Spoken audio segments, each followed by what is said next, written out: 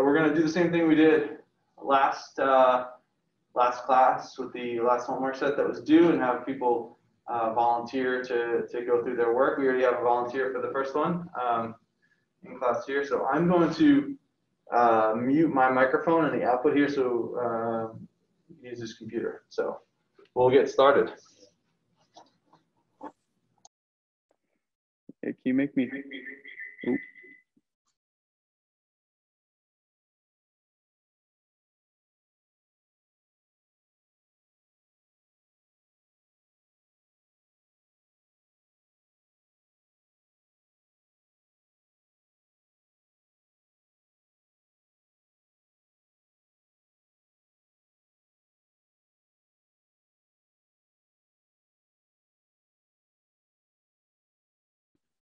Okay, can everyone online hear me okay? Maybe a thumbs up or something? Yeah, we can hear you. Okay, perfect. All right, um, so yeah, for this first one, uh, this we're basically dealing with bending in an elastic beam. And so uh, I just rewrote the equation here, equation number one. And then I also copied down the boundary conditions and the initial conditions here. And then just for reference, I wrote some of the units in the upper right here. So we have the Young's modulus, mass over length times time squared, uh, the second uh, moment of area, which is uh, length to the fourth, and then obviously density. In this case, it was just mass over length. Um, and then our displacement or a, uh, a kind of deflection of the beam, which is just a measure of length. And so to begin, basically I, you know, followed the routine of changing the variables. And so in this case, we have three variables that we want to change. We have essentially the x or the length along the beam, uh, which we can change to xc times some h uh, we want to change the time as well. And then we want to change our U, our deflection of the beam. And so to start, basically, you know, the key thing here is that we want to set three of our pi terms equal to one to solve for these three uh, characteristic length and, and time, of course. And so, you know, another kind of systematic thing we're doing here is we want to first change those derivatives. We want to non-dimensionalize them. And so since we have both a, uh, you know, partial dx and partial dt, uh, basically we want to change the x, the x to h, and then we want to change the t to s. And since our dx, d, or uh, our d dx uh, is to the fourth, basically we do that four times, and we find that our uh, non-dimensional version is, uh, you know, d to the fourth, dh to the fourth, and then 1 over dxc to the fourth. And then since our time is only to, uh, you know, the second, uh, basically we just do that twice. And we similarly find that we have basically a d squared over ds squared, and then all times 1 over dc squared. Just to jump in for everybody, there's like a very small pedantic thing that I would say here, which is that you in general want to move the kind of constant term outside the derivative. So like this is your operator. You know, no one can see what I'm pointing at. Can you? Maybe you can. Uh, this is your operator. That's going to be your new kind of term that you're taking a derivative of. And this is kind of a constant that's multiplying it. So this almost looks like you're saying, take the derivative of this thing, but this thing's a constant. It's a super small point, but just in terms of notational stuff, consistency, you want to do that. No, I agree that that's much more clear to have both the 1 over xc to the fourth in front here and the 1 over tc squared in the front here. And so uh, moving, which I, I, do later on, but moving forward, um, basically we're taking our change of variables, so equations two through four, as well as our, uh, you know, what we found for our non-dimensional derivatives, uh, equation five and six, and we're just gonna plug that into our original equation, equation number one. And so basically what we see from that is that we have a Young's modulus times the second uh, moment of area over um, uh, xc to the fourth. And then all of that, uh, this, this fourth uh, derivative is operating on our non-dimensional version of, of uh, u. And then similarly, we have this rho over tc squared and then kind of the second uh, S derivative operating on UCV. And then as far as moving forward into equation number eight, well, I just pulled out our, uh, you know, characteristic deflection UC in both of these. And now we basically have effectively non-dimensionalized these partial derivatives. Um, and so the, these terms here are non-dimensional. And then uh, we kind of take a break from this equation number eight here, but we'll come back to it. And now we want to non-dimensionalize our boundary and initial conditions. And so basically the way that I like to think about it, just kind of looking at the notes and, and you know, maybe some people think about it differently. But basically, you know, we have this deflection equation that depends on x and t. And we want to basically turn that into a non-dimensional version, which, you know, in our earlier equations, we said that v and then h and s. And of course, this is the non-dimensional version of u, x, and t. And so basically from there, you know, I'm just starting with our boundary conditions that are given and then I'm kind of changing them into our non-dimensional versions. And so for what that looks like in terms of the deflection, basically we're trying to normalize this uh, initial deflection, this U naught, by the characteristic deflection. And then similarly for the, uh, the X, uh, you know, we're kind of normalizing, I like to think about it as, uh, but this becomes L over XC. And then for our initial conditions, although it doesn't give us a pi term, it's still good to show that when time is equal to zero, of course, our v will also be equal to zero, uh, much like the u was. And so basically from this, we're seeing that, you know, as kind of the rules we followed, we're setting these two pi terms that are circled in orange to one. And so from that, we already get our characteristic deflection and our characteristic length. Uh, UC just equals U naught, and then U, and then XC equals L. And so I, I usually like to write up a little something just to check in with myself. So basically, we automatically know what UC and XC are by our boundary conditions. And so this raises the question, you know, how can we manipulate equation number eight, which was uh, basically our non-dimensional version of the, the original equation, so that we can solve for the characteristic time by setting just one of these pi terms to one. And just one because we already have solved for two and we want to set three pi terms to one. And so now we can go back to our equation number eight. And, you know, this is where the professor describes it as kind of not so much a science, but more of an art, uh, which I like that, that idea. And, um, and so first off, we can cancel out these characteristic uh, deflections. And then we're left with this equation here, equation number nine. And we can divide by the Young's modulus, uh, which basically, as a reminder, this second uh, moment of area, this I is a, a length to the fourth, and this is also length to the fourth. So basically dividing by e, we'll see that this first term becomes non-dimensional.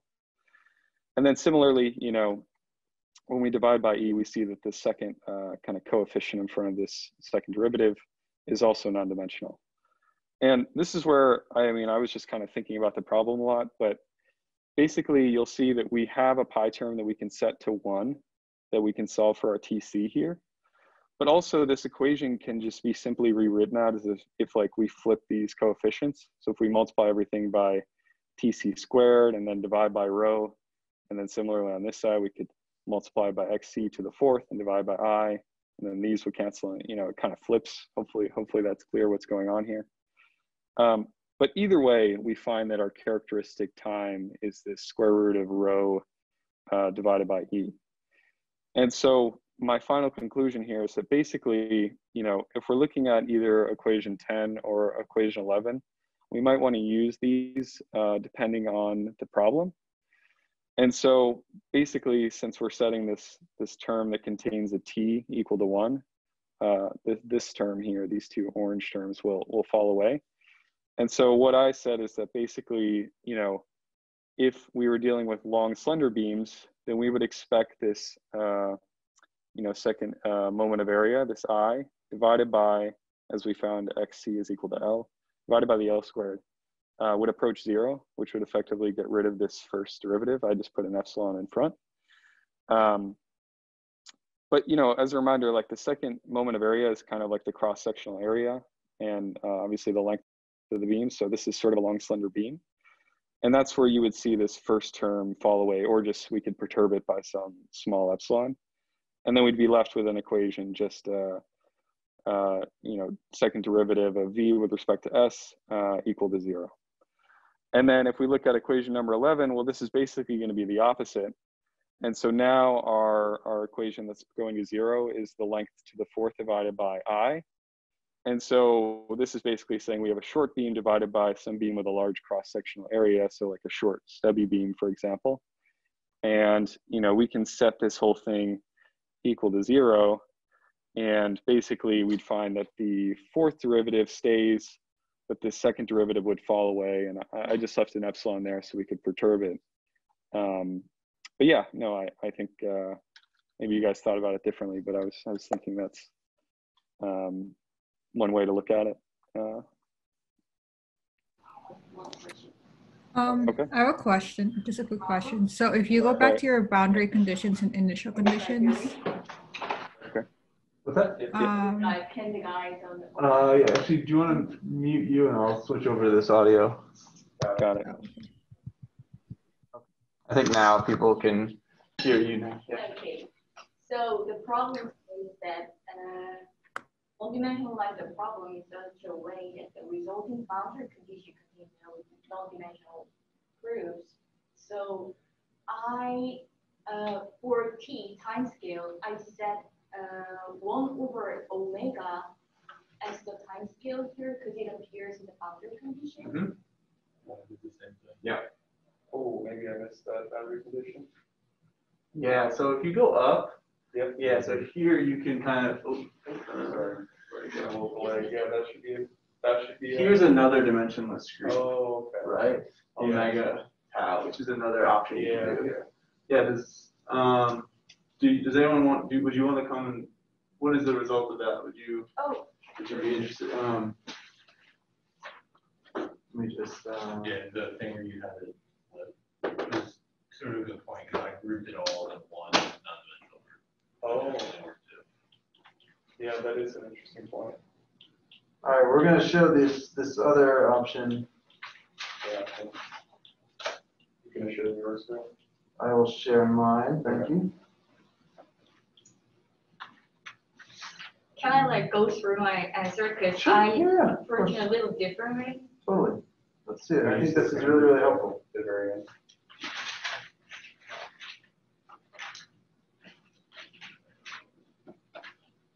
Do you wanna record it? Okay,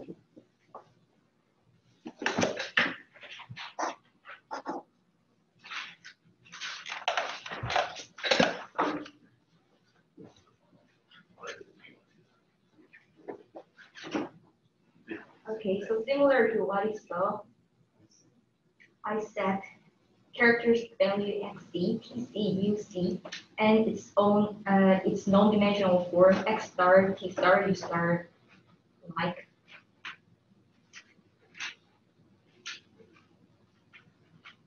I'm not a great fan of like using so many parameters, because it's, it ends up making me like mixing everything up.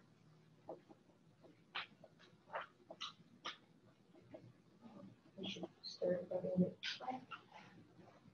So these are characteristic values, and the stars are non-dimensional. I should say that if you don't like to introduce new parameters, a very common way to do variable substitutions is to uh, replace your variable with a capital letter of the, of the. Ah, Or start with a capital letter and then move to a lowercase letter. So that's a common thing like- for people who don't like to switch. Exactly. okay, Or like, no, it'd be more like little u is equal to uc times big U. Um, so you still end up with like a characteristic length, and you see that it's like a temporary variable, uh-huh, and then you end up multiplying that times, instead of u star, it's just capital U. So, uh, so your differential equation becomes like So. partial derivative of capital U over partial derivative of capital S, or something, or capital T or something. So, Mm, so that's just, you know, okay, and you also have pressure, pressures. Rewritten as.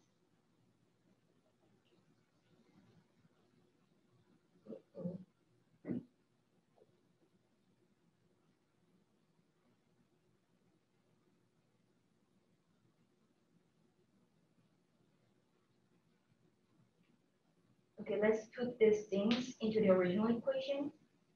Then we get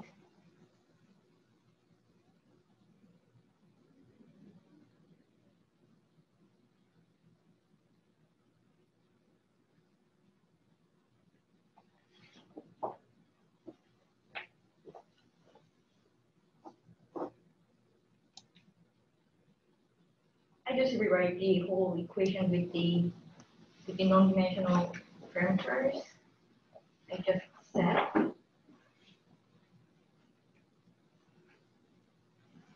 Since I didn't mess up. Yeah, okay.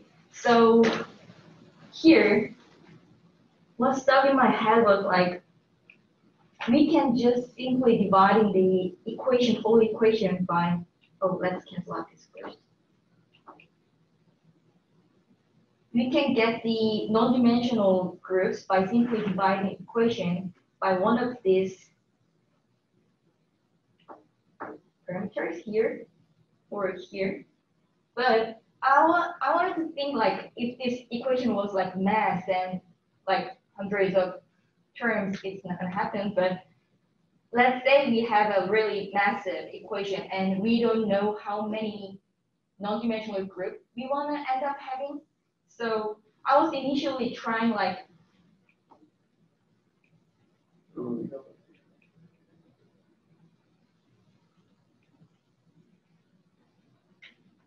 maybe we can end up having like these as our non-dimensional groups, but this is not true, right? Because we also have this. So it's embedded in this. So how can you avoid this kind of situation? I've been thinking about it, and I think we can use Buckingham Pi theorem here. So if you think about this problem as figuring out the dimensional relationship between E, I, rho, and TC, and XC, we can write down the relationship like this. And following the Buckingham Pi theorem as we did like in last homework, we end up having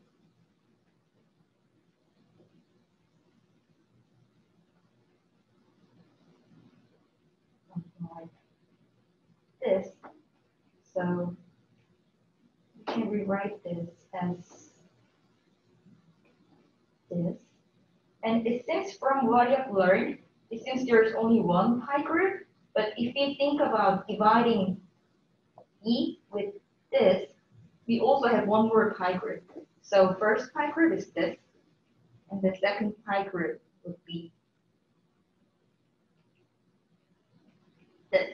So we have four parameters and three fundamental dimensions. So we should end up having one, but why is it invalid here? Because we took E to form the non-dimensional group. So we actually take the E into the function. So the better way of writing it is actually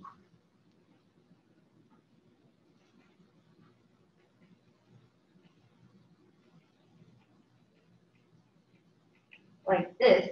So we also want to have E in our non-dimensional group. So we end up having two pi group, even before we like try several things to find out how many non-dimensional group we can have. So Can I jump in for two things really quickly? So if the last thing that uh, was written about of f of all those parameters equals zero is confusing to people, what you could have done is said that the thing we want, which is kind of uc, Mhm. would be a function of all of those things. Mhm. But we know that uc kind of goes away, but based on the fact that it's multiplying both terms, it's equal to zero. ah, And so that might help people see, like, because we never really started by writing down Uh-huh. f of something is equal to zero, but it's okay, it's correct, but it's correct because that UC term is multiplying all the terms on the left-hand side, so it goes away. Okay, got it. The second thing is, uh, this is, might be misleading, uh, because we know that we have three Mhm. uh, characteristic values, and we would expect to have kind of three dimensionless quantities. And the reason we don't from Buckingham Pi here is because we left out the parameters that appear in the boundary conditions. Ah, So if you had added in the parameters that appear in the boundary conditions, you would have ended up with another pi group and omega over, omega times, ah, TC. right, right, that's, that's where I'm missing the one over omega. Exactly. Ah, got it. And that's got where it. that would come in because the function would have all the terms in the governing equation and the boundary and initial conditions. But your approach is right, it's just that's where, if you're kind of confused, that those are some things that Oh. That's a great. So You should also have omega term here. Yep. And we will end up having three pi groups, Mhm. including this one, and this one, and for the third one, including Should be like TC omega, I think. yeah. Great. Okay, so let's rewrite the boundary condition and initial condition. So just same as before, putting everything back to the original boundary condition and initial condition.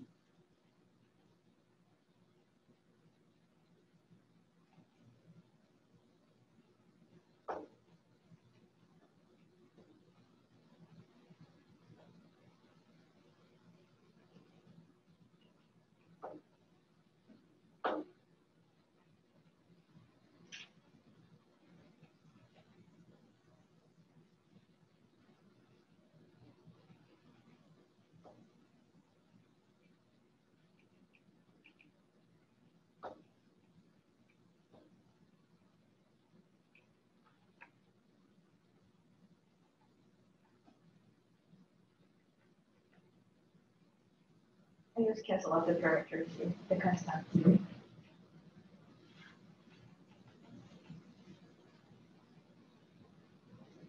And by looking at it, we have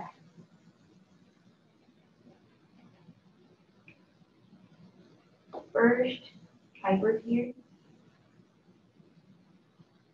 Set to one.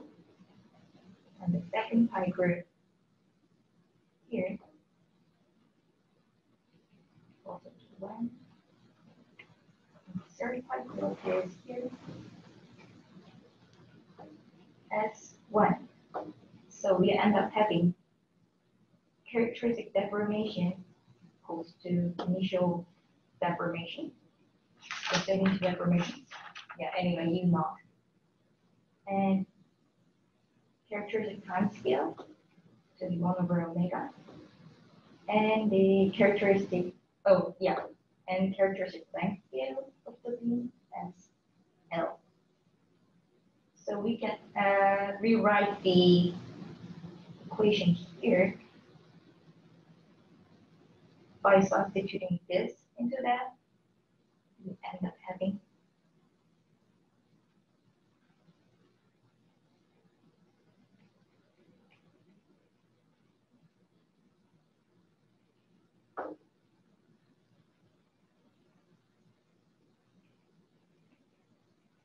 this and the boundary conditions depends.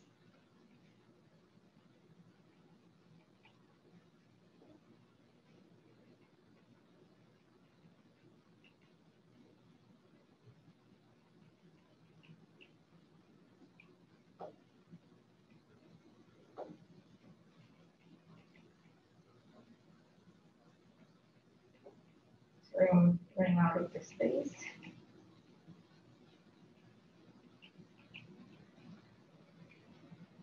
The initial uh, condition should be remain there. Same.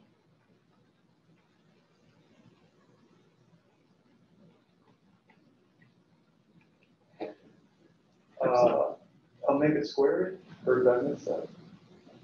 E over rho it squared. Very In that, right? Young's modulus is mass over, or length times squared. Should be squared. Yeah, I think you had it up above. Oh, yeah, yeah, I think I just missed it. Yeah, yeah, Maybe. you just missed it. Yeah,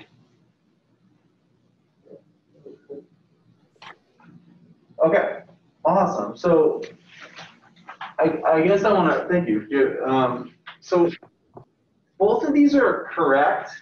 And so I don't want to, I'm kind of glad that we got to do this. because they're both different ways that we can non-dimensionalize the problem. The only thing I would say on this last one is if we can collect these terms together into some sort of epsilon term, I think that would be useful for what we're going to do going forward, which is looking at these kind of perturbation methods to approximate solutions.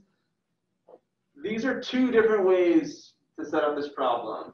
And why would you want two different ways to set up this problem? Well, uh, the first problem that was presented is what you would use to model something like uh, uh, the free vibrations of a diving board. You jump off a diving board, the diving board is going to kind of go up and down and then kind of decay. We're ignoring the decay term, so we're kind of saying it would just vibrate forever. But the question would be like, well, what's the frequency it's going to vibrate at? You know, I just kind of loaded this thing, I just jump on it once, and then it just kind of vibrates and comes back. The second problem is the way this one is, is done is such that you're actually driving that cantilever or driving that beam.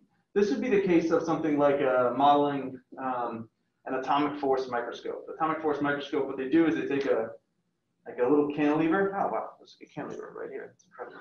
Um, um, so they take a little can. So this is the first problem, right? It's like the second problem, the one that I was asking for in the, in the homework is this is like pretend this is a can, uh, atomic force microscope tip, an AFM tip. So you have like a really sharp kind of crystalline uh, diamond tip over here, and you kind of use this to walk across the surface. You would kind of do like this. And you don't actually touch the surface, you just kind of vibrate above it. And then you have a laser that comes down and kind of measures like the reflection of that tip. Um, so it's got like a little sensor here, laser shoots, hits it, and then you kind of see where that laser point moves. And that tells you what the topography of the surface you're kind of driving over looks like. So in that case, there is no free vibration of that of that tip. You're you're forcing it to vibrate at some frequency. You set a frequency, maybe maybe you set that frequency based on kind of like the, the amount of samples you want to take on there. So in that case, like the free vibrations don't really matter. So you're not really looking at the first problem. What you're really concerned with is kind of like how is this thing bending relative to how fast I'm driving it. There are two different problems that lead to two different ways that you would non-dimensionalize them, set them up, and solve them. And it depends on kind of the physics of the problem that you're after. So I'm glad we have to do this. because The, the first one is not wrong. It's just modeling a different a different phenomena. If, if we're driving it, shouldn't there be a term on um, in the original partial differential equation? Should there be a term on the right hand side? You're forcing it's occurring at the at the boundary, right? So you're forcing it not in the bulk, but you're forcing it at a particular out of space. So the, the forcing term appears kind of in the sinusoidal uh, deflection at the boundary. So you're imposing a deflection with a particular time scale at the boundary. And so that kind of imposed deflection, it's, uh, it's kind of what you would call displacement control instead of force control. Oh, it's a, oh, oh, it's not a natural. It's not an initial condition. It's a it's a boundary condition in which you're imposing the deflection. Um, so if it was an so if it was an impulse, then you would have um, if it was an impulse, then it would be an initial condition. correct. The way it's set up right now means it's sort of a time dependent force at the boundary. And if you had some sort of deflection function across the entire uh, beam, then in that case, it would be it would be on the right hand side. Yeah. So I'll just repeat that in case people couldn't hear. So then I will correct it just a, a tiny bit in which that it's not a force. Con- you're not doing a imposed force at the boundary. You're imposing a deflection. Now there will be a reaction force because of that. But yes, you're imposing a, a a deflection at the boundary. If you were actually saying, I would like to impose a deflection along the curve, everywhere kind of spatially along x, that would appear on the, in the governing differential equation because now you're going to be having a variation in maybe the deflection over x. Here you're saying at one point, I'm imposing a deflection. The beam's going to deflect, and we can figure out what that's going to be everywhere else, but I'm only imposing a deflection at, say, whatever we called it, u, at the, at the boundary, at x is, I forget if it was x is zero or x is L, but yes. So, and then you're correct, like if we were doing a, an impulse that's going to appear as an initial condition, and if we were doing something in which we were imposing the deflection of the entire thing, so maybe giving it like a uniform deflection um, or some sort of comp, it really wouldn't be uniform, it'd have to be something like uh, parabolic or something so that the deflection at one fixed end is zero. Um, in that case, it would appear in the governing differential equation. Slightly tangential question. Um, would thi- is this partial differential equation valid for other elasticity problems, or is this specifically just beam or beam uh, deflection? Sorry.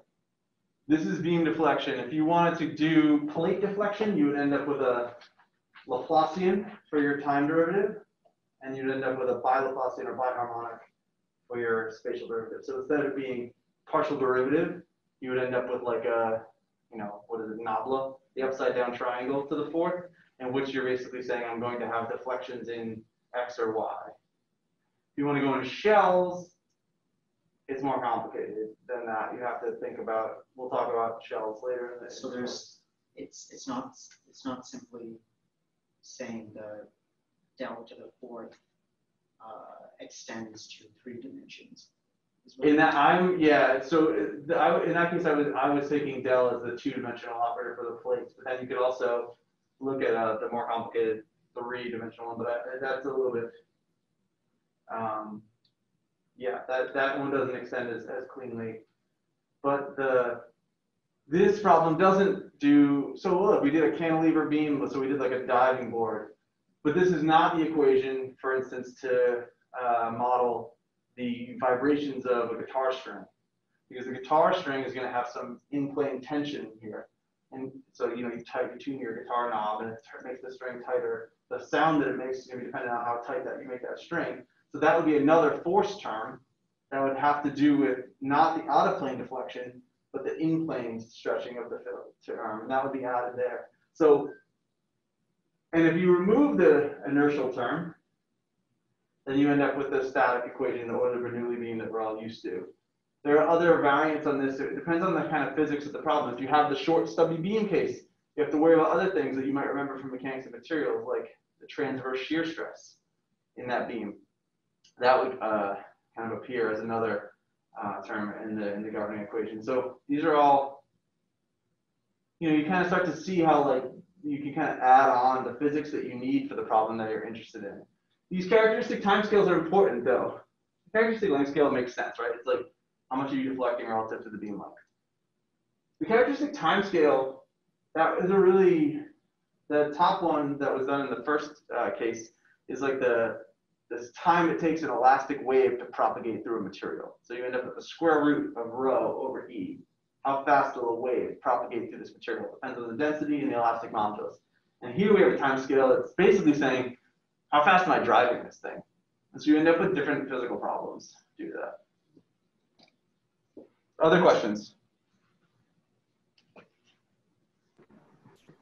This is a kind of um, off-topic question, but would apply to all of the um, problems. Um, so I had originally misread the, the problem, so tried to do it this way, and it didn't work anyway. But do you have to take all the variables, both dependent, and independent, and introduce a characteristic value, or could you do like only two of the three, for example, and end up with a different way, different kind of problem? Yeah, so this is a good question. I think this one will become more clear when we do problem two, but you, yeah, the answer is yes. You take all the variables, independent or dependent, and replace them with a characteristic value. Now you have to be careful there because in the next problem, we have a couple parameters in there that are not the independent or dependent variables in the parameter. In particular, I'm thinking of that lowercase b term. That b term is not an independent parameter. We're not taking derivatives with respect to it. And it's not, it's not a dependent parameter. It's not what we're saying. It's, it's a constant. And so it does not depend on x or t. And so it doesn't kind of appear as an independent or, or dependent variable. So that one, we don't introduce a characteristic value for because it's not a variable, it's a parameter. It's going to kind of shift your curve up or down, but it's not going to, um, you don't have to consider how changing space or time affects that parameter because it's a constant or uh, it's a parameter in that problem. All of the terms that, that are kind of your independent or dependent variables, the independent variables, at least in the case of a, of a differential equation, are going to appear, that's what you're taking derivatives with respect to. And your dependent variables are usually the terms you're actually differentiating with respect to those independent variables. And in all those cases, those are the ones that you need to introduce characteristic uh, values for.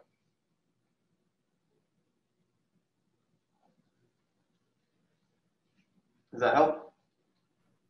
Yeah, it does. By your statement of then for all, would that mean that, because obviously I didn't do this then, that the theta in the next problem, although it's dimensionless, would still need to be characterized because we're taking derivatives with it? Yeah, exactly. There's Okay. some- characteristic kind of uh, rotation uh, apparent. Even though it's a dimensionless term, it's kind of like, how, think of it this way, you know, how do we know if uh, that angle uh, depends on, I think it's space or time.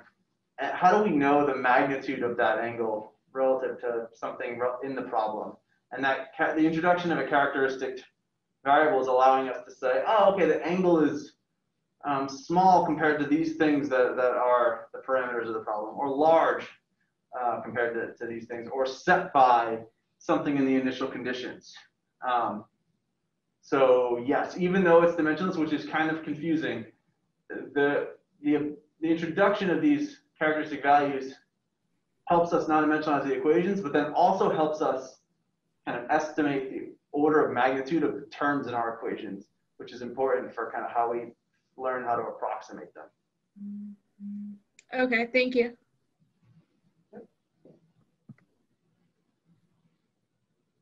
Other questions on problem one? And while people are dreaming up questions, if anyone is willing to volunteer to do problem two.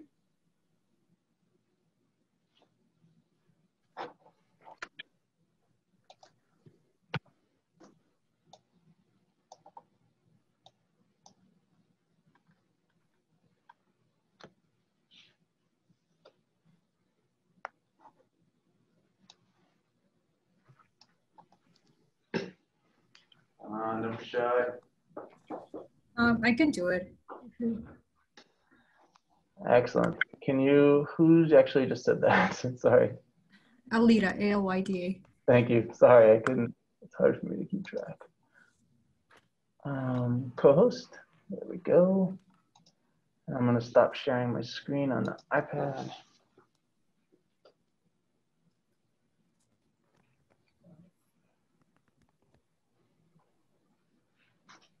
Okay, let me share my screen.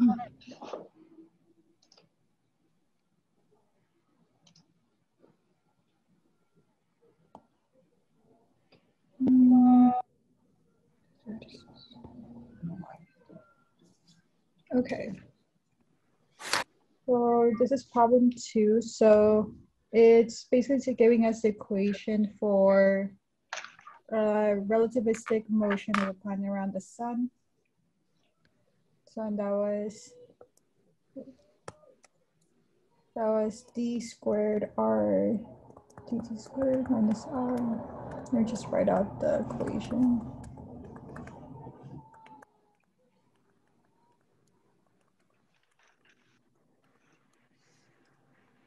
And they're telling us that b is a constant.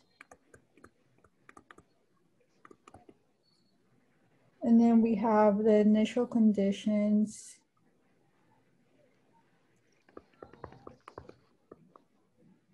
R at t equals zero equals R naught, theta t equals zero equals zero, and then also, what was the other condition? I am, and then dr dt at t equals zero equals zero. Okay, so then what I did first was just kind of, they asked you what are the uh, units or dimensions of what exactly is that of R and B. Um, so just kind of doing some reasoning here. Um, like for example, you can just look at this term uh, right here. Can just look at this term right here. And you can like know just from familiarity that G is a gravitational constant, which has units of um, meters cubed over kilograms times seconds squared. And then you also know that mass is, the M is mass, which is kilograms. And then you can kind of also just reason that R is radius, which is meters. Um, so if you kind of just multiply these together, um, you end up getting meters per second squared. So then you basically know that all these terms, like right here, all have to have these units, meters per second squared, because they have to match. So and from this, you end up getting that R has units of length, which it can be like meters. And then B has units of length to the fourth over T squared, which is meters squared over meters to the fourth over second squared. So that's part A. And then part B just non-dimensionalize and scale, choose your scaling so that only dimension, the only non-dimensional group appearing involves B. Okay, so we're gonna first let R, we're gonna have their characteristic variables, which is gonna be R, T, and theta, because those are the three things that you're bearing in this problem and the rest of them are constants. So an R is gonna be RC, R star. I use stars because it's just easier for me to keep track of what corresponds to what. And then theta equals theta C, theta. And then just for me to reference later on, T star equals T over TC and theta star equals theta over theta C. Okay, so we're, the way that I do this is a little different from other people um, that I've seen. So I'll kind of try to explain my reasoning. But basically you want to sub in R, T, and theta in these forms into your original equation.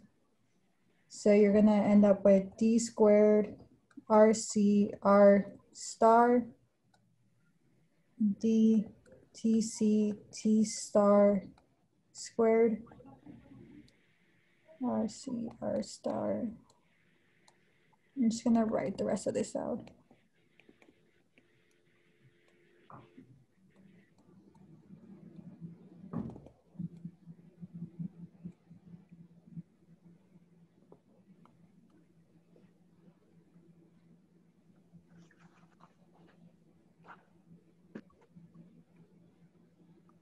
Okay, now we're gonna expand this. So over here on the left, you end up with R C D squared R star. And then the bottom you end up with TC squared DT star. So the way I do it is like basically you apply this to you apply this to this, but you don't apply it to this because it's a constant. So you just take it out. And then this squared, it's technically like you're squaring everything inside this parentheses right here. Um, this should also have a square here. So and that's why this ends up looking like this. And then minus RC, R star. Let me do the same thing here. Hmm.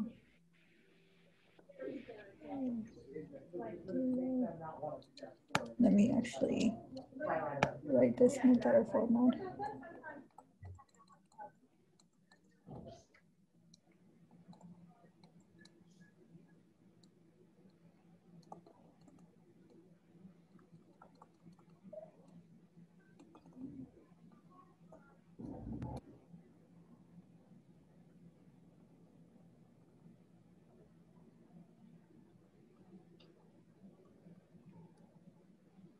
Okay, then you end up with this whole equation.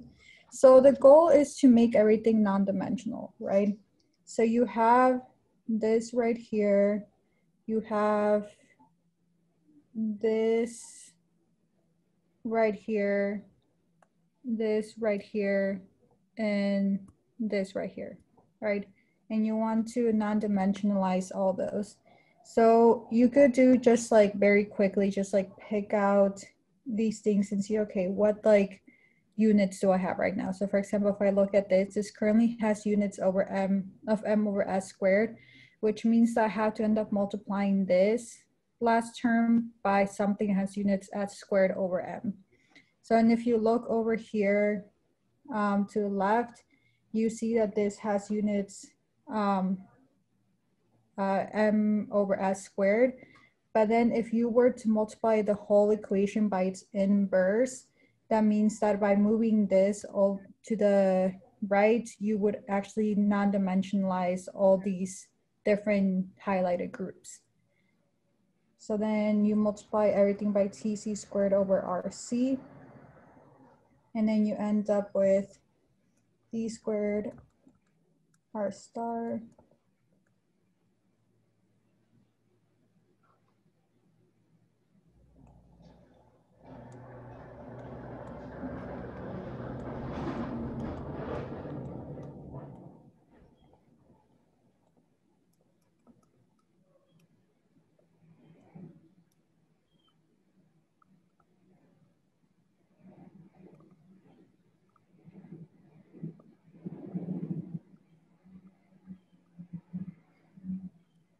Okay, so now from here, we're gonna pick out our pi groups. So we have this as one of our pi groups. We have this as another pi group. And then we have this as another pi group, right? So you're basically picking out whatever groups of like constants you have that are not that you did non-dimensionalize that do not include these star terms because those are your non-dimensionalized versions of your variables. So those are the three that we have. So we have three pi groups here. Okay, but now we have to non-dimensionalize our initial conditions and boundary conditions as well. So we had our t equals zero equals r naught. And the way I do this is like, I kind of thought it in a similar way as somebody, like the previous person explained it, but a little different. It's like, you're trying to non-dimensionalize this whole thing, right? So you're gonna divide it by your characteristic variable because if you divide everything by characteristic variables, then you're gonna end up kind of canceling out that unit that these variables have uh, with them, right? So you're gonna end up with also a non-dimensionalized form of them. So you're gonna do R over RC, TC, and RC, which gives us this.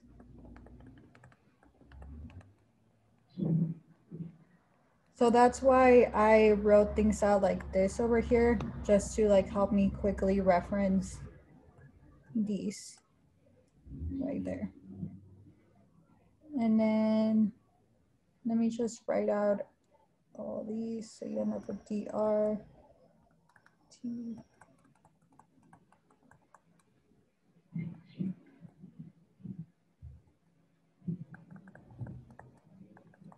So you do error the same thing to all of them. So it's gonna be RC, TC, TC, theta C. Well, sorry, this actually was not supposed to be here. This is just that, and then you do theta C, TC. And then these give you this.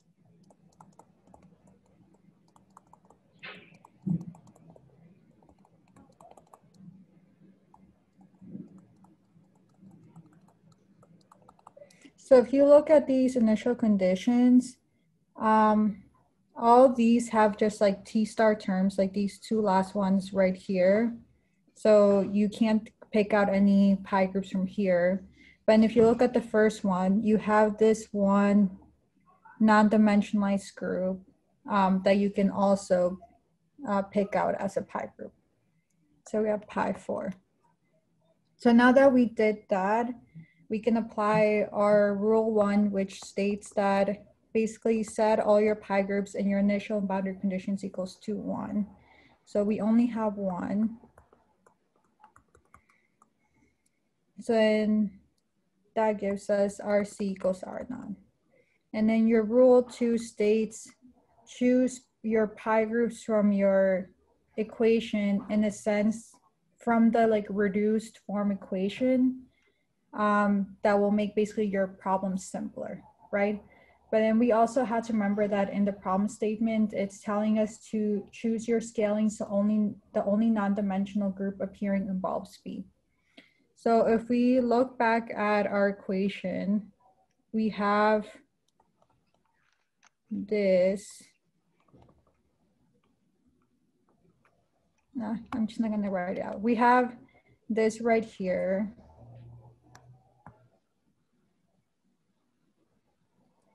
And you have to choose the first pi group because it's the only one that has theta c so you, and you have to solve for theta c, right? So like by process elimination, you have to choose that one. And, then now you're between choosing that second and third pi group. So if you want to, since it says to choose so that the only non-dimensional group appearing involves B, that's why I chose pi 3 because the only one that has B, but I might have also interpreted that part of the problem statement wrong. But I ended up choosing pi 1 and pi 3. So on pi 1 gives you that theta c equals plus or negative 1. And then pi 2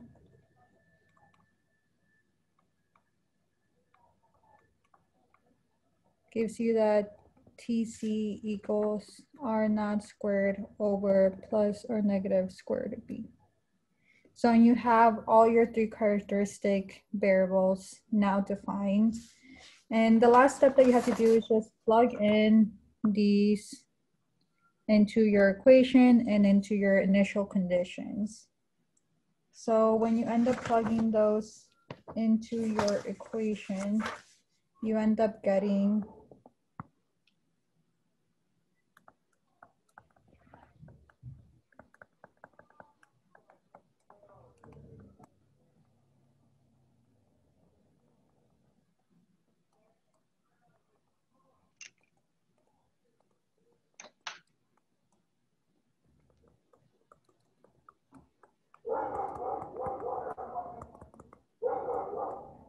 this, and then your initial conditions, your non-dimensionalized initial conditions become these.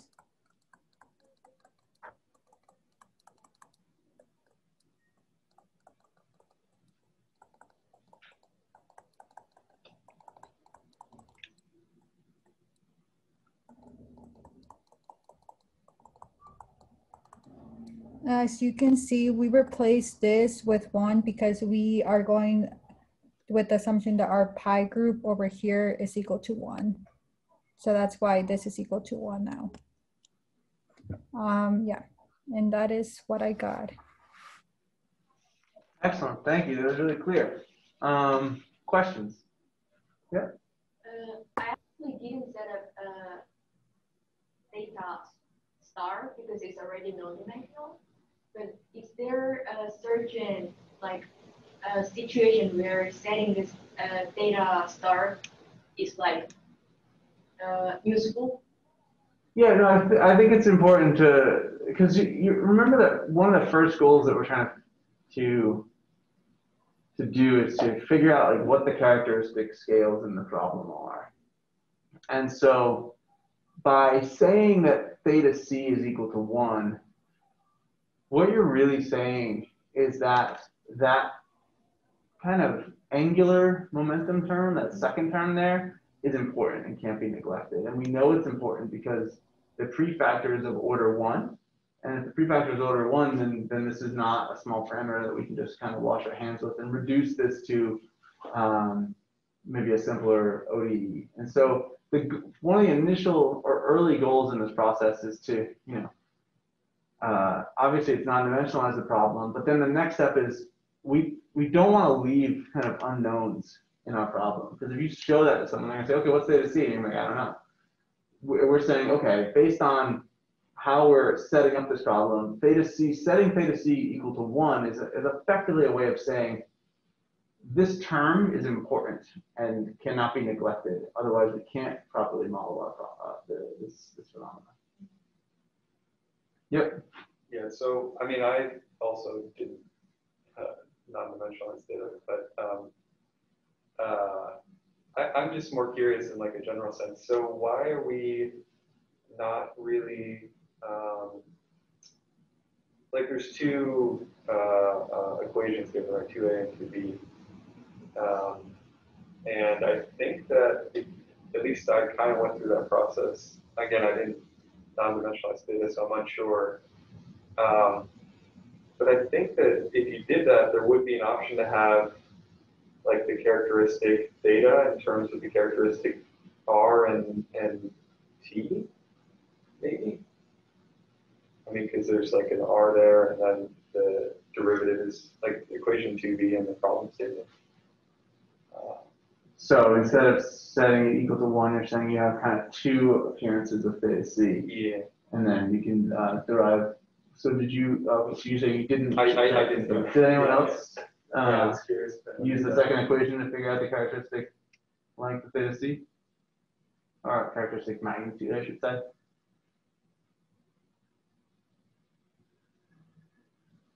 Yeah, I forget what happens when you go through that process, but yeah, I, I think you're, it's, uh, it's, um, I can't remember if that second condition is just the initial condition over here. What is the second equation? Remind me? Uh, it is this ddt of r squared d theta dt equals zero. Ah, okay. Um, I worked that out with the chain rule actually, and I ended up just with a theta c left on its own as well. So you end up with theta c equals one again, because you end up with an rc squared over tc squared on both of them. So those kind of cancel out, and you end up with a theta c on its own, similar to how you had a theta c squared on its own in the first equation. Yeah. My recollection of this is that you, you don't gain in- intuition other than that the theta c term has to be of order one. But it's a, it's a, it's a good question. Yeah. The only other thing I, I think I might have maybe worded the, the question not as clearly, but I was in, I think I was intending pi, see if you can scroll up. I think I was intending pi two to be set to one. I think that's what you've written there, but I think you actually did pi three. Um, which just changes the nature of the problem. It's basically a way of saying is B a small parameter or not? Like what's the small parameter? And so by in this way, as written, it's kind of implying that like this is a small parameter, um, which you know this is a what is this a relativistic motion of a planet around the sun. The gravitational constant and mass are going to be pretty large values. This B term, I forget exactly what it physically represents, but I think I was looking for the opposite, which would be instead of this being pi two, this is actually pi three, just from your notation up there. Um, and I had set pi two equal to one and had my small parameter. So I had this be kind of order one, and then my epsilon term multiplying one over the radius cubed.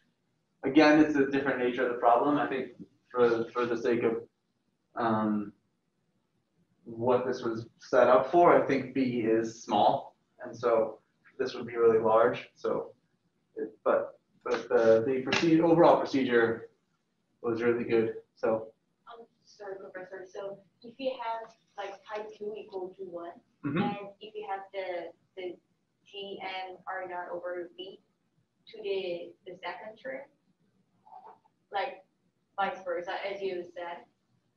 So we end up having like B over G and rho naught times the, the second term.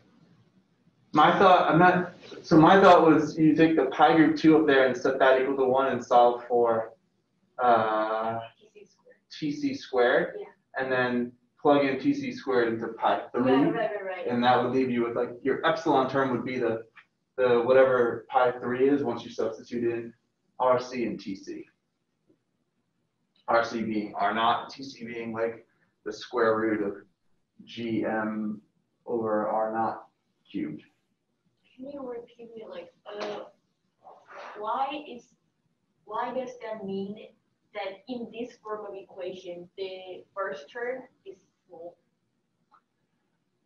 It doesn't mean that this first term is small. I'm saying I probably should have made it more clear that I that b is a small number, and based on the problem of like relative relativistic motion of a planet around the sun, like g is not small and m is not small, and so big number over small number is going to leave with a huge number. And what I was looking for was that you would have something with b in the numerator over g and m in the denominator, and I and I should have made it more clear that since b is small, then the term multiplying this thing here would be a small parameter. And then you could kind of go and see how this solution varies. So you could set up something equal to zero, and you're going to get a more classical kind of angular momentum gravitational problem. And then now you're getting this nonlinear term, which I think appears due to relativistic motion. And I also have another question, which is slightly off from what you understood here. Why don't we have one more initial condition for theta? You sort of do. It's in the, uh, oh, it went away. If you scroll down here, the last equation that worked out ends up being a, another equation that allows you to solve for theta. Yeah, Right. so, so in this equation, it's definitely derivative, so we need one more initial condition for theta. That's a good point. Well, I don't know. That's a good point. Yeah, so we actually have a second derivative theta here.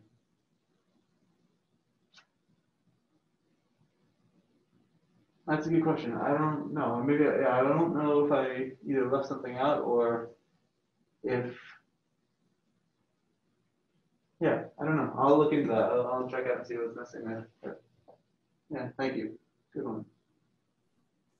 I have another question going back to like finding the reduced problem and determining what's big and, and what's small. Mhm. I thought in class the other day you said that when you are looking for the reduced problem, you either throw away the pi groups that are really, really large or really, really small. So you were saying how like G um, and M and R, those are all large because we're talking about planets. So could you argue that those are so large that you get rid of them or in this case is it like that's the scale of the problem and like the order of magnitude of the problem so with respect to the problem they're not large i guess i'm just kind of confused Yeah, sure. That's a great, Like- yeah that's a great question. So, um, one way to, to resolve this and think about it, and I think we talked about this, um, uh, in one of the example problems we did, but you don't want to throw away a term that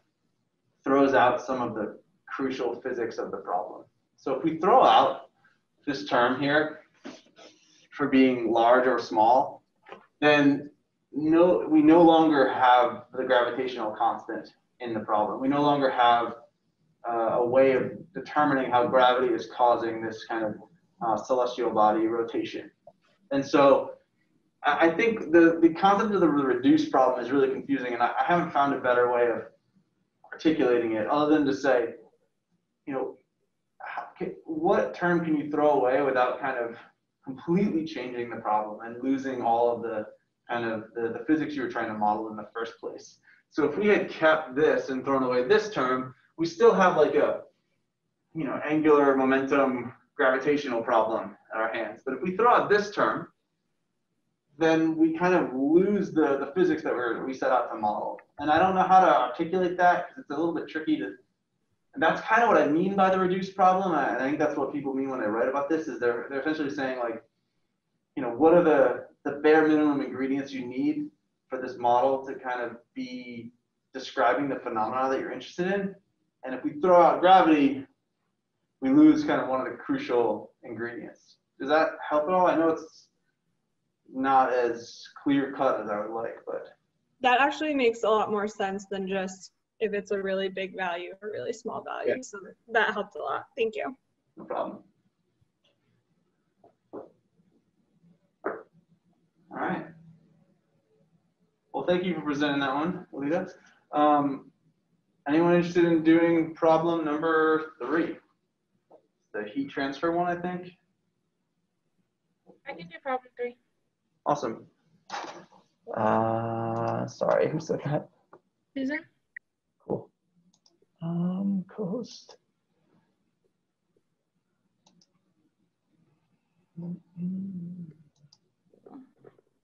Awesome.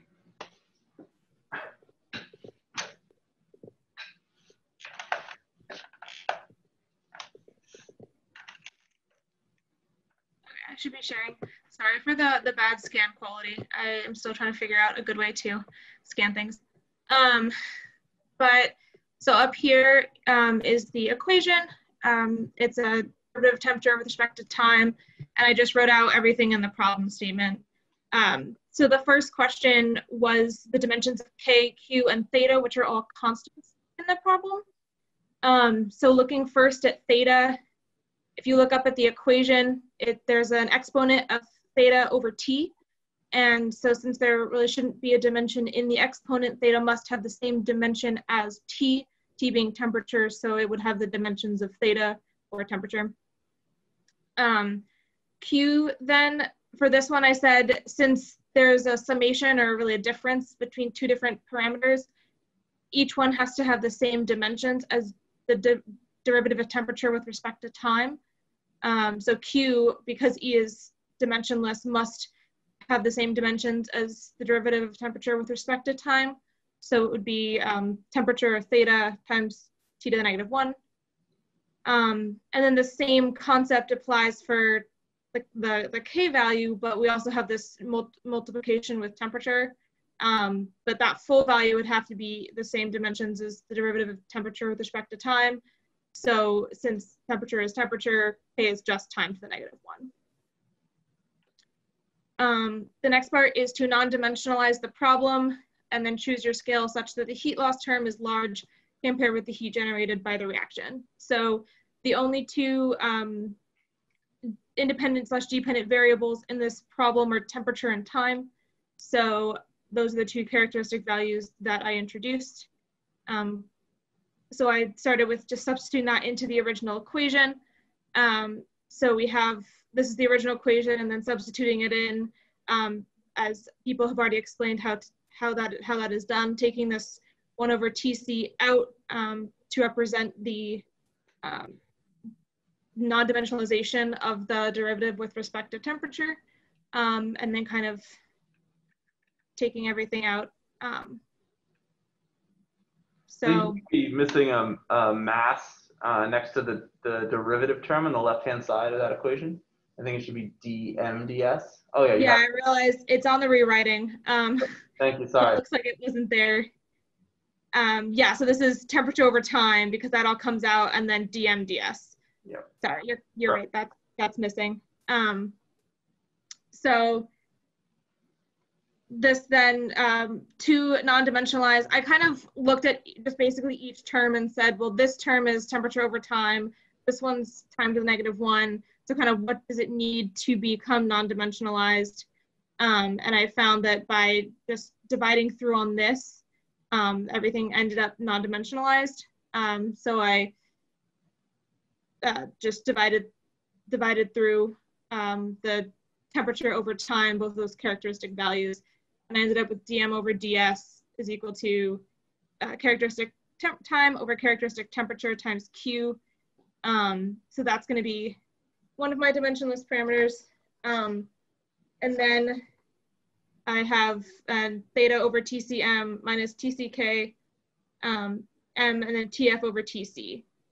Um, and then I also changed my initial condition to be M of zero is T naught over TC in the same concept as has been explained in previous problems. Um, I then just for my own, kind of to, to gather them all together, wrote out all my dimensionless groups, whether they were gonna be set to zero or one. Um, I just wanted them all kind of in the same place. So the first one's very obvious. T naught over TC is going to be a, a pi group. Um, that one's going to definitely be equal to one because it is in the initial conditions. Um, but then looking at this problem up here, we, we have this TC over TC times Q. Um, we have a pi group up in the uh, exponent of the of E. Um, and then we have TC times K as the uh, coefficient of this term, and then TF over TC at the back. So looking at these five groups, we only have two um, characteristic values. So obviously not all of these are going to be included. Um, so the first rule is that the boundary condition, set that equal to one. So that one is very straightforward. T naught over TC is one, or TC is simply your the initial temperature of uh, the substance. Um, so we need one more dimensionless group, and it was stated in the problem to assume that the heat loss term is much greater than the heat generated by the reaction. Um, and assuming that I understood correctly which one was which, I said that heat generation was the first term and heat loss was the second term. Um, and so heat, since heat generation is so much less, that one kind of goes to zero. Um, and your heat loss term is what you look at to set equal to one. Um, so what I said is that, you know, this full, this um, coefficient would be equal to one, which makes your characteristic time equal to one over K. Um, so this was an extra scan because once again, I'm apparently not that good at scanning. Um, but if you take those characteristic time and temperature in and put them back into the equation, um, this is what I ended up getting with everything kind of plugged in and then I simplified it out. Um, and then since we had already stated that, um, sorry, this, this should say heat generation, but this first term is much smaller in comparison with the second term, um, which was stated in the assumptions. So I added an epsilon there um, to kind of show that assumption. Awesome. Great. Questions? That was really clear. Would Q be included in epsilon or is that not? Since part of the non-functional. Yeah, uh, yeah, you you could you could typically wrap Q into that whole non-dimensional term, so that way your your kind of small parameter is like everything. It's your small parameter is both dimensionless and like kind of all the parameters that are multiplying that term are, are wrapped into one. So yeah, you could wrap in, you could kind of pull epsilon and make it kind of Q over K T naught. Um, but yeah. How you wouldn't do that? No, no, no. You really want to. Generally, you'd want to do, do that because your idea would be to say, okay, now my small parameter is epsilon. Now let's take epsilon to, to zero. But then you want to say, well, let's take epsilon to a really small number. But then you have to take, well, then what am I going to use for q? And then you, and then what does that mean? And so it's better to kind of wrap all those into one. And you're saying that product, that dimensionless product, has is a small magnitude, a number of small magnitude. Yeah. So you would typically wrap that in there. Mm-hmm. I have another question about the reduce problem for this one. Mm-hmm. Susan, if you could go up to where you like removed the heat generation. Um, and yeah, like uh, a little more. Uh, a little lower, sorry. I'm just, oh yeah, so I guess when you assume that the heat generation is really small, so that like first pi group um, goes to zero and completely eliminates that first term. Um, then you have that like TC times K M minus TFTC. And like intuitively, you kind of know you need to use the TC times K because you already know your, your big TC. Um, so you're like looking for what your characteristic time is. But I guess my question is like, if that's the reduced problem, um, you still have two pi groups in there. So would you technically need to like justify why the second pi group is like either really big or not important? Or can you just say that I already solved for my temperature, like my characteristic temperature, so I don't need that pi term at the end. Yeah, exactly. The second part is the is the correct way to think of it, where you don't actually have a characteristic uh, time anymore, you know it's T, or is it temperature? You, you don't have TC anymore, you know it's T naught. So I think Susan could have replaced that in there. Um, and so then you're, the only thing you're left with is what is TC? and then you have TC times K is t- multiplied by two numbers that are, you're taking the difference between. M is dimensionless, so it's a number. TF over T naught is dimensionless, so it's a number. And so you're just saying, well, then I, I want to make sure that no matter what, this term doesn't go away. So my characteristic time times K should be of order one. And so you say, okay, then TC uh, K is equal to one. And so, yeah, you're, the second way you described it is the correct way to think about it. Okay, thank you.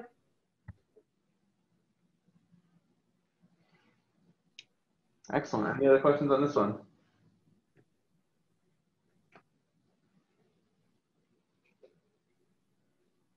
All right, pretty good. Nice. Thank you very much. Um, what's the last one? I actually forget what the last one is. It's the. What's the last one? What's that? So rocket, yeah, going back to projectiles, but instead of throwing them, using propulsion. This one's a little bit more involved. Anyone interested in going through this one?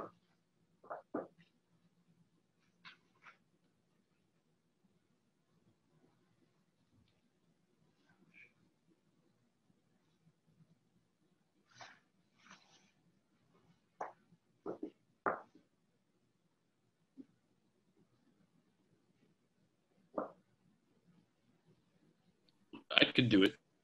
Ah, awesome. Thank you. This is Jacob, by the way.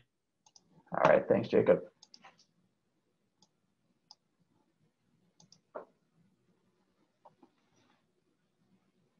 All right. You should be able to scare, share your screen now.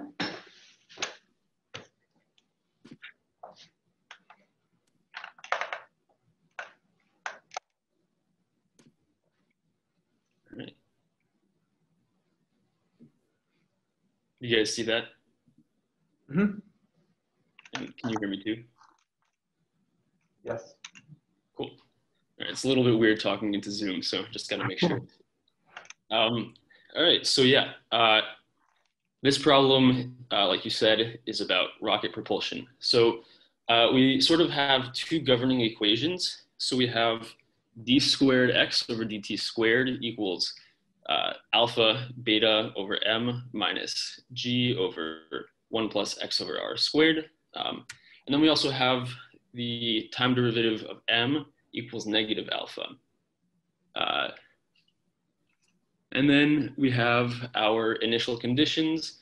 Uh, we know that uh, the position and the velocity of the rocket uh, at time equals zero is zero. Um, and then we also know that the initial mass of the rocket is capital M. Um, so let's see, let me just look over the problem statement real fast, just to remind myself. Yeah, so, okay. So uh, the next thing I did is I just went through all the parameters and variables in the problem and just wrote out their dimensions just uh, to have as a check for myself. So we know that X is length, T is time, M is mass, capital M is also mass, alpha is mass over time, so that's like a mass flow rate. Uh, beta is a relative velocity, so it's length over time. G is gravity, so that's length over time squared. And then R is length. Um, so now we're gonna do the change of variables. So we've got our, uh, let's see, we have, yeah, M and X are our two uh, dependent variables. So we have M equals MC, and I chose V to represent that. Uh, X equals XCU, and T equals TCS. And then in the problem, we have a d dt term, and we also have a d squared dt term. So just for reference, I wrote out uh, equals 1 over tc dds, and d squared dt squared equals 1 over tc squared d squared ds squared. Um, so now all we need to do is plug these uh, changed non-dimensionalized variables into the problem. Um, and I realized that this bottom part did not scan very well, but I will uh, do my best to just say it out loud. Um, so we end up having that uh, the characteristic length x over tc squared times d squared u ds squared equals alpha beta over mc times 1 over v, which is our non-dimensionalized mass, um, minus g over 1 plus xc over r times our non-dimensionalized u, that whole quantity squared.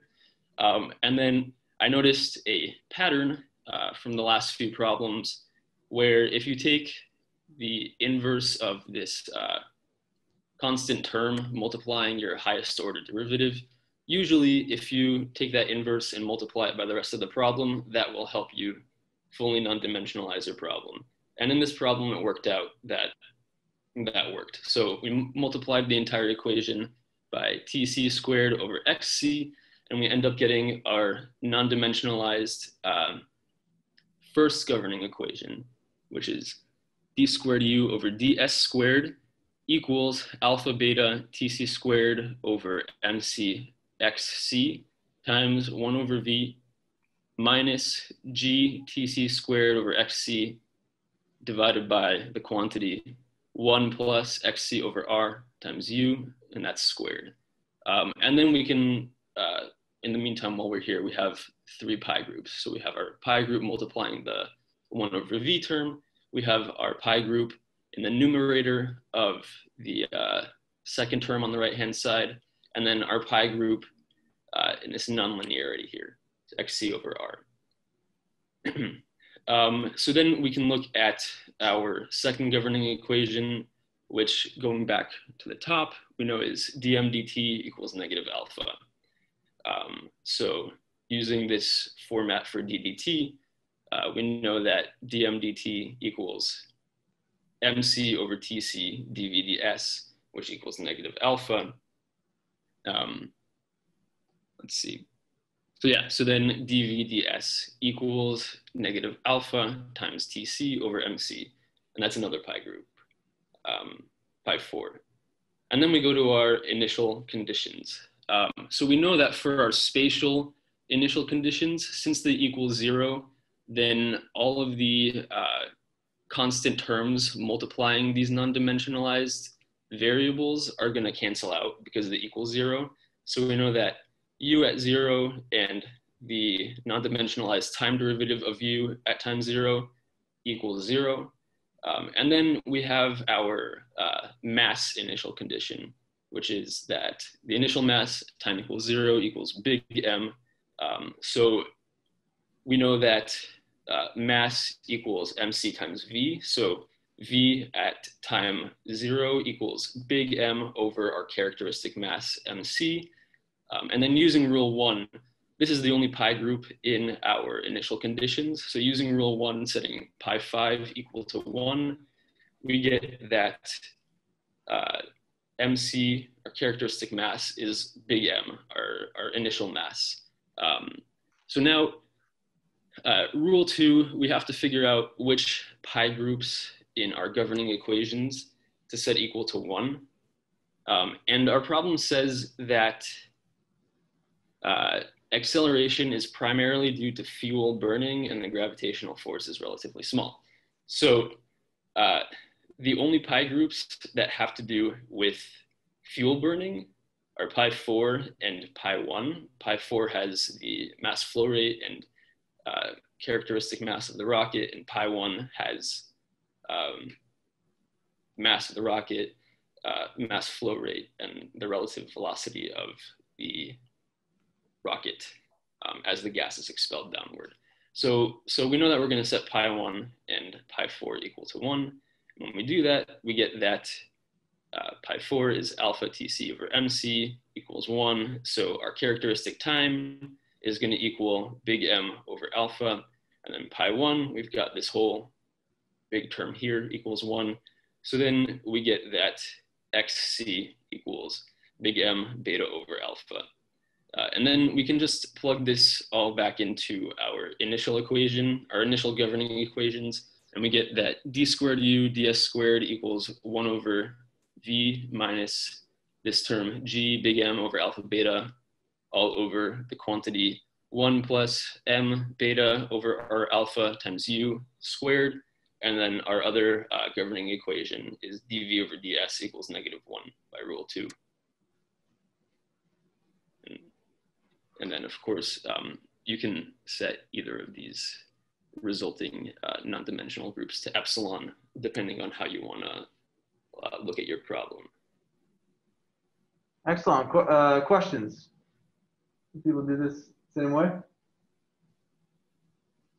You can clearly see that the relative length scale of your problem changes in this propulsion version of the projectile than in the uh, project than the projectile version, where you used to be comparing the distance between x and the radius of Earth, but now it's really understanding the kind of uh, kind of amount of fuel you have relative to how fast you're going and how fast you're burning uh, that fuel.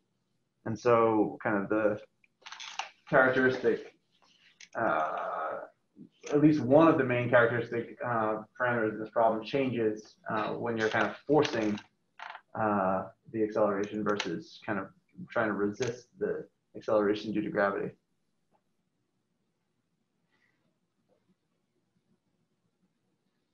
Yeah, question? Yeah, a very subtle thing that I was curious about, and it's kind of obvious in this case, but I'm more curious from a general sense. So basically, you know, when you're setting your, um, when you're solving for TC by setting alpha TC over MC equal to one, uh, I think you called it pi 4 Mhm. stuff a little bit. Uh, there is a minus one in front of there. Um, uh, which, uh, you know, obviously time is not going to be negative in this case, but more generally speaking, do you ignore like a constant number in front of the pi term, or do you group that in? Yeah, that's a good question. Uh, so typically what you'll see, and this was done, I think, in the last one, I think, I think Susan did this as well. And, and typically both the way this was, this was done is the way you'll see it, which is you kind of take the parameters and the, uh, that, that are in the problem, create your pi group from that to figure out what the characteristic values are, and then leave the sign as kind of part of the uh, equation that you're going to end up with. And that's more for like intuition side of things, where you, you don't want to like pack a negative sign Yeah. in your characteristic value, because then it seems like you're adding, then it seems like you're kind of saying like, oh, it's kind of like one over v plus this gravitational term. Yeah. And kind of conceptually that can be tricky. So typically what is done is what's been done here in the last problem, which is you just kind of leave the signs and you're just looking at the ratio of the parameters. And you're, and you're kind of saying my epsilon is going from zero to some positive number. Okay. And then I might be either adding or subtracting that epsilon, but the, um, yeah, that, that kind of appears in the equation. And that's, I think, for me, that's more for like how I can look at equation and quickly intuit, intuit what's happening. Yeah. Other questions? Are people feeling better about this homework assignment now that they've seen others go through it? Is it answering various questions? This is a practice kind of thing that there's really, you know, you kind of have to work out these things enough times to get a, a feel for it. But that question that keeps coming up of like, what is the reduced problem? Maybe the best way I can frame it is kind of like, what is essential? What is essential to this problem? And the challenging part there, I think, is that it requires you to dig a little bit deeper into what is this equation actually doing. The nice thing is you're rarely going to, in your research career, going to be just like handed a set of differential equations that you have to like non-dimensionalize. Typically, you're going to kind of know pretty well all the magnitudes of the parameters in your problem and all the you're to know that like okay i know that this thing is to be really easy to bend and so that's to be you know a small parameter is to penalize how how expensive it is to bend this thing. You're to usually have a good intuition for it. So the problem that we saw with the gravitational problem where you're kind of like i don't really know what the reduced problem is that's more of an issue here you know in a homework setting where i'm just giving you something. Typically you're to you're to know or you should at least be thinking how do i how do i answer the question what is essential? What do I want to make sure I, I retain in this problem? And that is the, those are the terms that, you, and, and, the, and the way to think about that is setting a pi group equal to one is saying whatever multiplies this pi group is important and cannot be neglected. And that's kind of the way I, I think maybe we can reframe this discussion of like the finding the reduced problem. It is kind of what is essential, and let's make sure we don't neglect something that might be essential. And the nice thing is, is that like, if you're actually doing this in a research setting, I think the first problem is a really nice illustrative example of like, say you don't really know, or say you're confused, you can kind of do it a bunch of different ways. And we ended up with a solution in which we're looking at the kind of free vibrations. And you might end up with two sets of equations like we did with the first problem. And then it's going to be on you to be like, okay, what does it mean if the characteristic time scale is this versus the characteristic time scale of this? And it might take you a little bit to figure out like, okay, this is one in which I'm saying the characteristic time scale is kind of related to how I'm driving it versus the characteristic time scale is related to some material properties, which means it's kind of maybe just like something determined by the system itself as opposed to something I'm giving as an input. That might take time. But you can always kind of do this and say like, well, I don't really know if this is correct. Let me try it this other way, set this other pi group equal to one, see what happens there. That is the more common way you're going to approach this. It's, it's not really ever going to be like a homework problem in your research career. You're either going to be reading a paper or you're going to be kind of working on something on your own and you're going to have time to kind of play with it. And, and, you know, that I think is where you'll kind of strengthen and develop your intuition for the problem. So. Um, Yeah. One, one sort of general question. Uh, all the all the problems we've done so far typically uh, approach, or the systems of equations there are differential. Mhm. Uh, would I guess this is the problem? Would it be would this same approach be applicable to an integral formulation of some problem or the other? Yes. Yeah. We don't really cover too many. Uh, um, yeah, I thought about uh, going through kind of like integral-based equations, and it, it's something I didn't end up adding to this class. But in general, the procedure is going to work the same. The integ- integration is going to be an operator that's acting on these variables. That's going to, even if you don't know what it's going to do, it's going to produce. You kind of based on the dimensions and based on knowing what an integral does, it's going to produce a, a certain dimensionality to the product. You can use all these same things um, to help with that. I don't think we directly apply that. We do um, a lot of kind of a lot of the techniques you see in problems that are involving kind of integrations of quantities are a lot more of you know here we're basically everyone's being forced to remember the chain rule and kind of applying it here. And the next thing that's going to happen, so the chain rule is essential. The next thing you'll see, I think you'll see this in like the third section of this course when we do variation of calculus, is the importance of integration by parts and the importance of um, the divergence theorem or, or however general you want to make it, Stokes theorem, Green's theorem. All these terms are kind of saying, okay, like, I'm integrating a quantity. Can I separate the part of that interval that's integrating over the bulk of the domain versus the part of the interval that's integrating over the boundary of the domain.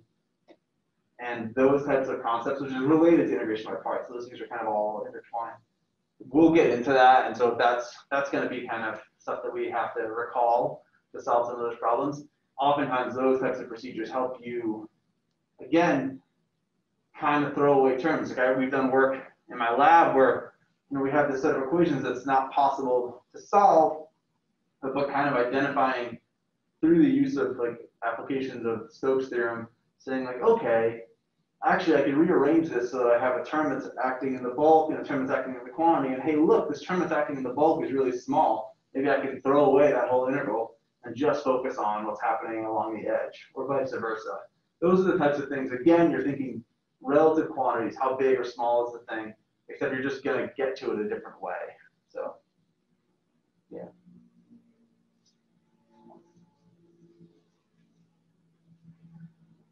All right, well, that's all I had for you all today. Please install Mathematica. Uh, please um, come look through the notebooks that I have on my website, and then we're going to go through the projectile problem again, but and dealing with the uh, perturbation approach on Thursday. Thanks, everyone.